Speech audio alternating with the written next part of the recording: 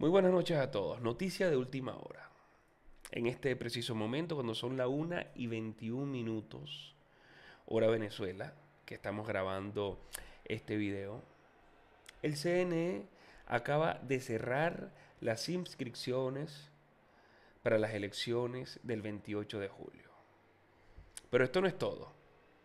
No ha permitido, o más bien el régimen no permitió la inscripción con la tarjeta de la MUT y de un nuevo tiempo a la señora Corina Lloris, la sustituta de María Corina Machado.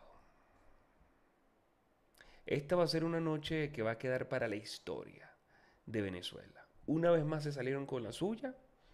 La plataforma unitaria está pidiendo que se le dé más tiempo, que se le dé una prórroga, lo cual no creemos